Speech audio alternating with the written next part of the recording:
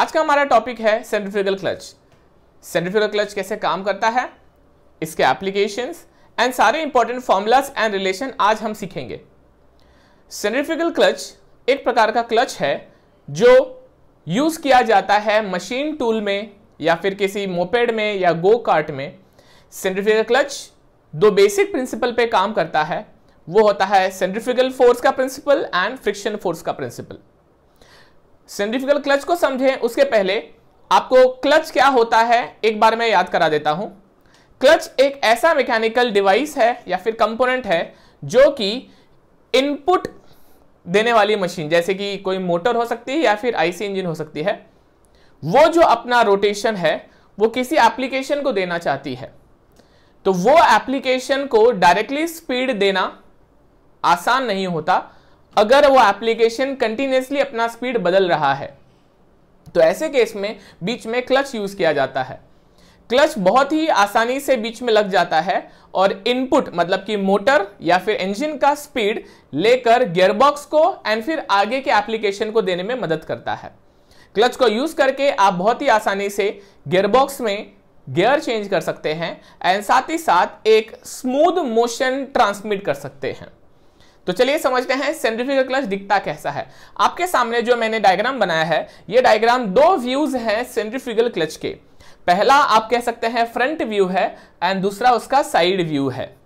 Centrifugal clutch दो basic principle पे काम करते हैं, जैसे कि मैंने आपसे कहा, इनका वर्किंग समझने से पहले आपको दो प्रिंसिपल पता होने चाहिए। सबसे पहला सेंट्रीफ्यूगल फोर्स क्या होता है? सेंट्रीफ्यूगल फोर्स हर वो बॉडी एक्सपीरियंस करती है जिसका कोई मास हो और वो रोटेट हो रहा है।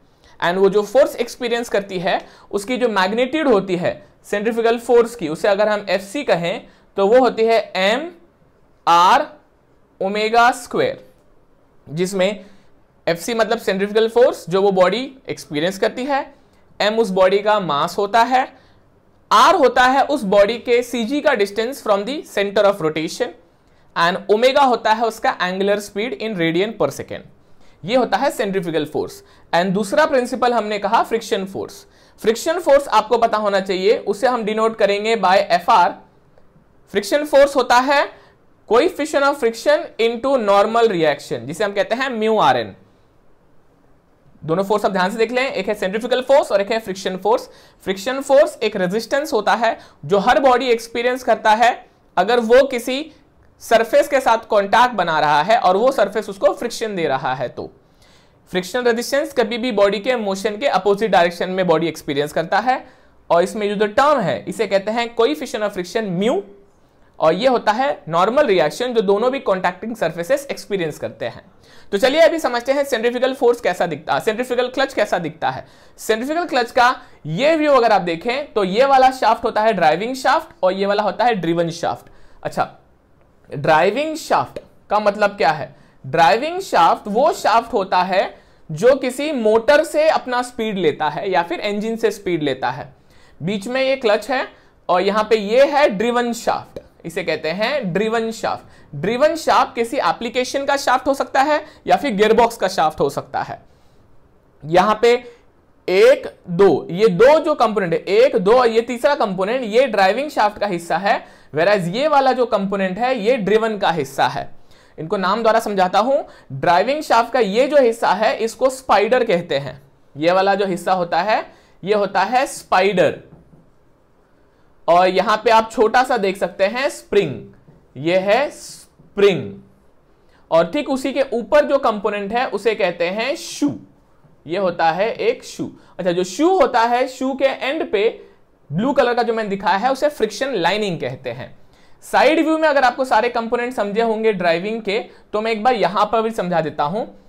ड्राइविंग शाफ्ट स्पाइडर स्प्रिंग और शू यहाँ पर यह है ड्राइविंग शाफ्ट और ये जो आपको क्रॉस की तरह दिखाई दे रहा है, ये स्पाइडर है, ये वो स्प्रिंग है, और ये चार है शू फ्रंट व्यू में आपको दो ही शू नज़र आएँगे तो साइड व्यू में आपको चारों शू नज़र आएँगे। ये जो दो शू हैं, ये ये दो यहाँ पे दिखाई दे सकते हैं आपको। ओके, स्पाइडर स्पाइडर इसको, स्पाइडर इसलिए कहा जाता है क्योंकि ये क्या करता है, ये शू को एक डिफाइंड डायरेक्शन में मूव करने के लिए कंस्ट्रेन करता है। मतलब वो उसको सिर्फ़ कहता है कि शू को सिर्फ़ ऊपर नीचे मतलब रेसिप्रोकेशन करने में हेल्प करेगा। एक डायरेक्शन देगा और वो अवॉइड करेगा शू को डिफ्लेक्ट होने से। ऐसे हर जगह पे वो वही करेगा। स्पाइडर में शू सिर्फ़ रेसिप्रोकेट कर सकेगा। मतलब वो सिर्फ़ एक पर्टिकुलर डायरेक्शन में उसे कंस्ट्रेन कर देता है। स्पाइडर स्पाइडर और उसके बाद में ये शू और ये स्प्रिंग मिलके ड्राइविंग का कंपोनेंट बनते हैं। ड्रिवन का ये वाला हिस्सा होता है, इसे कहते हैं ड्रम ड्रम को रिम भी कहते हैं ओके ड्रम को रिम भी कहते हैं। जैसे वहाँ पर ड्रम है तो यहाँ पर ये वाला डायग्राम में ड्रम दिख रहा है। ड्रम के पीछे रहेगा ये वाला शाफ्ट। तो अगर आप यहाँ पर देखें, यहाँ पर रहेगा ड्रिवन शाफ्ट और ये ड्रम के उस तरफ़ रहेगा आपका driven shaft driving shaft and पीछे ड्रिवन शाफ्ट आई होप आपको कंपोनेंट समझ में आ गए होंगे। कंपोनेंट समझ में आ गया होगा तो चलो देखते हैं ये काम कैसा करता है। तो हम इसको समझने के लिए एक कोई तो एप्लीकेशन ले लेते हैं। जो पहला एप्लीकेशन किसी को इमेजिन हो तो मैं कहूँगा लेटर से ये कोई तो सेंट्रीफ्यूगल क्लच मोपेड में यूज़ किया जा रहा है। मोपेड आप समझते हैं? मोपेड जैसे कि आपकी वो गाड़ी जिसमें गियर नहीं लगता। आपकी नॉर्मल गाड़ी बोले तो एक्टिवा लूना ये सारे जो कंपोनेंट इनको मोपेड कहा जाता है।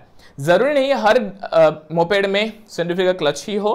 उनमें अलग अलग तरह के गियरबॉक्स भी हो सकते हैं, जैसे कि सीवीटी होता है। फ़िलहाल हम मान के चलेंगे किसी मोपेड में सेंट्रीफ्यूगल क्लच है। तो ये काम कैसे करेगा वो समझते हैं। ये वाला शाफ्ट रहेगा इंजन को। तो इंजन यहाँ पे घूमता रहेगा।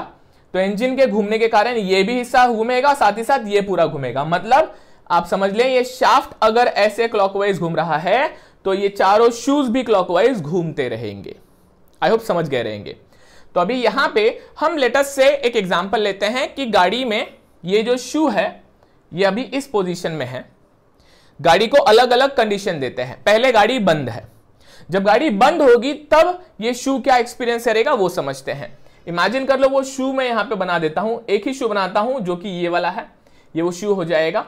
और उसके ऊपर का ये ब्लू कलर से दिखा दूँगा मैं फ्रिक्शन लाइनिंग ये हो जाएगा वो शू का फ्रिक्शन लाइनिंग स्टेशनरी कंडीशन मतलब गाड़ी अगर रुकी हुई है तो उस समय ये जो शाफ्ट होगा, ये कोई भी रिवोल्यूशन नहीं करता होगा। तो ऐसे केस में ये सिंगल शू क्या एक्सपीरियंस करेगा? इस पे के सभी फोर्सेस कैसे होंगे? इसके जो सभी फोर्सेस होंगे, एकमात्र फोर्स होगा, वो होगा स्प्रिंग फोर्स जो उसको नीचे की तरफ़ खींचेगा। स्प्रिंग फोर्स जो उसे नीचे की तरफ़ खींचेगा। अभी अगर मैं इसी को आगे बढ़ाता हूँ एग्ज़ाम्पल को तो लेटर से अब गाड़ी हम चालू कर देते हैं। अच्छा गाड़ी जब भी चालू करते हैं तो गाड़ी में अलग अलग स्पीड होता है। आप देखते हैं जब आप स्टार्टर मारते हैं इंजन तो चालू हो जाता है, लेकिन गाड़ी आगे जाती है क्या? नहीं। आपको गाड़ी के इंजन का आवाज़ आता है, लेकिन फिर भी गाड़ी आगे नहीं जाती। क्यों ऐसा होता होगा? ऐसा इसलिए होता है क्योंकि उस स्पीड को कहा जाता है आइडलिंग स्पीड वो स्पीड इतना स्लो होता है कि वो इनफ नहीं होता इस क्लच को ड्रिवन से एंगेज करने के लिए। मैं क्या कहना चाहता हूँ? फिर से समझना। जब गाड़ी आपने चालू कर दी तो मतलब स्टार्टर देने के बाद में ये घूम रहा है। ये जब घूमता होगा तो ये पूरा असेंबली घूमता होगा। तो उस दौरान कौन कौन से फोर्सेस ये एक्सपीरियंस करेगा? आप समझें स्प्रिंग फोर्स तो पहले इश्यू एक्सपीरियंस कर ही रहा था, लेकिन अब गाड़ी के चलने के कारण मतलब गाड़ी के इंजन के चलने के कारण, अब ये शू रोटेट कर रहा है। और वो शू का एक होगा मास एम लेटर से ये जो डिस्टेंस है उसका आर डिस्टेंस है। कौन सा डिस्टेंस शू के सीजी से सेंटर का डिस्टेंस अगर ये सीजी का डिस्टेंस आर है, इसका मास एम है, और मान लो ये किसी रिवोल्यूशन एन से घूम रहा है तो इस समय ये एक्सपीरियंस करता होगा एक सेंट्रीफ्यूगल फोर्स सेंट्रीफ्यूगल फोर्स क्या होता है? एक आउटवर्ड पुश जो ये बॉडी एक्सपीरियंस करेगी रोटेशन के कारण. अगर ये आउटवर्ड पुश है तो ये बाहर की तरफ़ एक्सपीरियंस करेगी एक सेंट्रीफ्यूगल फोर्स अच्छा लेकिन होता क्या है? ये इतना कम होता है। क्या कम होता है? स्पीड कम होने के कारण। स्पीड कम होना मतलब ओमेगा कम होना। Okay okay. आपको ओमेगा और स्पीड का रिलेशन पता होना चाहिए। ओमेगा एंगुलर स्पीड होता है, और अगर हम आरपीएम की बात कर रहे हैं, वो होता है रिवोल्यूशन पर मिनट तो ओमेगा होता है two pi N by sixty. आप एन को रिवोल्यूशन पर मिनट भी कह सकते हैं, फ्रीक्वेंसी भी कह सकते हैं। तो ये जो रिवोल्यूशन इसका होगा लेटेस्ट से ये ऐसे हमने क्लॉकवाइज अज्यूम करके एन रिवोल्यूशन बोल दिया इनपुट शाफ्ट को। तो उस रिवोल्यूशन से अगर ये घूमता होगा तो उस समय उसका शाफ्ट को और इस पूरे असेंबली को एंगुलर स्पीड होगा, कोई तो एक ओमेगा उस पर्टिकुलर ओमेगा पे जो सेंट्रिफिकल फोर्स होगा, वो बहुत कम होगा। क्योंकि वो बहुत कम होगा, इसलिए स्प्रिंग फोर्स डोमिनेट करेगा और बिल्कुल भी इसे हिलने नहीं देगा। मतलब ये इतना कम होगा कि अभी भी यही डोमिनेट कर रहा है। इसे कहते हैं वो स्पीड जिसपे कोई भी मोशन स्प्रिंग के फोर्स के कारण शू एक्सपीरियंस नहीं करता। लेट अस से अब आप क्या करेंगे? आप हल्का सा थ्रॉटल देंगे। थ्रॉटल मतलब आप एक्सेलेटर थोड़ा सा घुमाएँगे। जब आप हल्का सा एक्सेलेटर घुमाएँगे तो एक्सेलेटर घुमाएँगे तो इंजन का स्पीड बढ़ेगा। जब इंजन का स्पीड बढ़ेगा तो ये पूरे असेंबली का स्पीड बढ़ेगा। जब पूरे असेंबली का स्पीड बढ़ेगा तो उस पूरे असेंबली के स्पीड बढ़ने के कारण एक पर्टिकुलर स्पीड ऐसी आएगी। लेटर से एक पर्टिकुलर स्पीड ओमेगा वन होगी। वो ओमेगा वन इतनी होगी कि ये उस ओमेगा वन के कारण नया सेंट्रीफ्यूगल फोर्स बनेगा। लेटर से वो होगा F C is equal to F C one बोलता हूँ मैं। F C one is equal to M R omega one square ये एफ़ सी वन इतना होगा कि जितना एफ़ सी वन होगा, उतना ही स्प्रिंग फोर्स होगा। ये कब हुआ? जब आपने हल्का सा थ्रॉटल दिया। हल्का सा जब आप थ्रॉटल देते हैं तो होता यह है कि ये जो शू है, उतना ही फोर्स बाहर एक्सपीरियंस करता है, जितना इनवर्ड पुल होता है। इस स्टेटस को, इस स्टेटस को कहते हैं जहाँ पे स्प्रिंग सस्पेंडेड एक्सपीरियंस करता है so in this case the force which is outward is equal to force which is inward तो आप कह सकते हैं, इतना सफिशियंट सेंट्रिफिकल फोर्स होता है कि स्प्रिंग फोर्स नलीफाई हो जाता है एंड ये सस्पेंडेड एक्सपीरियंस करता है हमने उस पर ओमेगा क्या अज्यूम किया था? ओमेगा वन उस समय क्या हुआ? सेंट्रिफिकल फोर्स कितना था? M R omega one square तो उस केस में हम कह सकते हैं, जितना एफ़ सी है, उतना एफ़ एस है। That is weightlessness condition you can say उस समय जितना एफ़ सी उतना एफ़ एस हो जाएगा। तो हम कह सकते हैं, ये F C one equal to F S है। अब क्या होगा? आप गाड़ी आगे बढ़ाना ही चाहते हैं। अब क्या करेंगे? आप थोड़ा सा और थ्रॉटल देंगे। जब आप थोड़ा सा और थ्रॉटल देंगे तो आपके इस थोड़े से थ्रॉटल देने के कारण अब ये जो शू है, अब ये बाहर जाना ट्रैवल करेगा। क्योंकि जब ये F C more than F C one हो जाएगा। तो ये वाला जो बाहर का जो पुश होगा, वो अंदर के पुश से ज़्यादा होगा। तो यह बाहर ट्रैवल करना शुरू कर देगा। और जब ये बाहर ट्रैवल करना शुरू कर देगा, तब ये बना लेगा इस ड्रम के साथ कांटेक्ट जब ये ड्रम के साथ कांटेक्ट बना लेगा तो ड्रम उसको देगा एक नॉर्मल रिएक्शन ड्रम देगा उसको एक नॉर्मल रिएक्शन वो ड्रम जो नॉर्मल रिएक्शन नॉर्मल रिएक्शन मतलब reaction which is given by the surface in the direction perpendicular और नॉर्मल तो ये हो जाएगा नॉर्मल रिएक्शन जो कि रेडियस के अलोंग होगा. वो नॉर्मल रिएक्शन कितना होगा? वो नॉर्मल रिएक्शन को अगर मैं आर कहता हूँ तो वो normal reaction equal to normal reaction equal to क्या जाएगा? F C minus F S normal reaction कौन दे रहा है? ये सरफेस दे रहा है। तो वो नॉर्मल रिएक्शन की वैल्यू जो हो जाएगी, वो हो जाएगी magnitude equal to F C minus F S ये नॉर्मल रिएक्शन जब शू एक्सपीरियंस करेगा और वो नॉर्मल रिएक्शन प्लस लाइनिंग का फ्रिक्शन जब इनफ होगा तो फ्रिक्शन के कारण शू ड्रम को पकड़ लेगा। और जब शू ड्रम को पकड़ लेगा तो वो ड्रम शू के साथ घूमना शुरू कर देगा। इस तरह से जब आप थ्रॉटल देते हैं तो ये घूमता है, ये बाहर जाता है, ये जब बाहर जाता है तो ड्रम को पकड़ लेता है। और जब ड्रम को पकड़ लेता है तो जैसे ये घूमता है, वैसे धीरे धीरे ये उसकी स्पीड पकड़ लेता है। इस तरह से इसका रिवोल्यूशन इस ड्रीवन शाफ्ट को मिल जाता है। समझे होंगे किस तरह से ये काम करता है। इस तरह से इस नॉर्मल रिएक्शन के कारण एक फ्रिक्शन फोर्स इंड्यूस होता है। फ्रिक्शन फोर्स की वैल्यू हमने सीखी। क्या होती है? Friction force F R is equal to कोई coefficient of friction into normal reaction normal reaction कितना है? F C minus F S तो ये हो जाएगा mu into F C minus F S F C क्या होता है? M R omega square F S क्या है? M R omega one square तो एफ़ आर क्या हो जाएगा?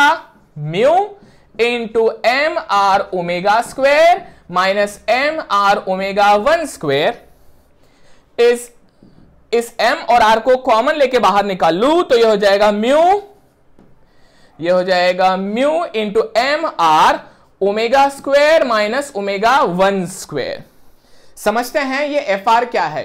ये एफ़ आर एक फ्रिक्शनल रेजिस्टेंस है जो सिंगल शू एक्सपीरियंस करता है। ये सिंगल शू वो फ्रिक्शनल फोर्स एक्सपीरियंस करता है। उसकी वैल्यू होती है mu M R omega square minus omega one square इसमें म्यू क्या है? म्यू है कोई of friction between the shoe and the drum M क्या है? Mass of each shoe R क्या है? आर है एक सिंगल शू का सेंटर से डिस्टेंस मतलब सिंगल शू के सीजी से लेके सेंटर ऑफ़ रोटेशन का डिस्टेंस ओमेगा क्या है? ओमेगा वो आरपीएम है जिस पे पावर ट्रांसमिट हो रहा है. ओमेगा वन क्या है? ओमेगा वन एक पर्टिकुलर आरपीएम है जिस पे spring force and centrifugal force same हो जाता है. ऐसे केस में ये जितना नीचे का फोर्स एक्सपीरियंस करता है, उतना ही अपवर्ड फोर्स एक्सपीरियंस करता है. ये एफ़ याद रखना, सिर्फ़ एक सिंगल शू का है. ऐसे ही यहाँ पे चार शू है. तो ये फोर्स को हम कन्वर्ट करेंगे into N number of shoes तो अगर हम कहते हैं N N shoes N shoes मतलब एन शूज़ है तो उसका टोटल एफ़ आर हो जाएगा N into mu M R omega square minus omega one square ये क्या होगा? ये होगा frictional resistance resistance experience by all the shoes and this all the end all these resistances of all the shoes will help rotate the drum. इस तरह से ये drum इस फोर्स के कारण रोटेट होगा। रोटेट होता है तो क्या देते हैं? रोटेशन के लिए जो फोर्स दिया जाता है, उसे एंगुलर फोर्स मतलब कि टॉर्क कहते हैं। टॉर्क का फॉर्मूला क्या होता है? टॉर्क होता है force into radius torque is equal to force into radius तो अगर मैं फोर्स एफ़ बोलता हूँ तो रेडियस क्या हो जाएगा? रेडियस हो जाएगा इस ड्रम का रेडियस ड्रम का रेडियस क्या हो जाएगा? उसे हम आर डी बोल देंगे. तो F R into R D ये हो जाएगा F R into R D torque exerted by all the shoe on the drum जब ये ड्रम को इतना टॉर्क मिलेगा तो ड्रम आगे क्या ट्रांसमिट करेगा? पावर ट्रांसमिट करेगा. पावर क्या होता है? पावर होता है टॉर्क इंटू ओमेगा ओमेगा आपको आता ही है. टॉर्क आपने निकाल ही लिया है। इस तरह से आप पावर ट्रांसमिटेड निकाल पाएँगे।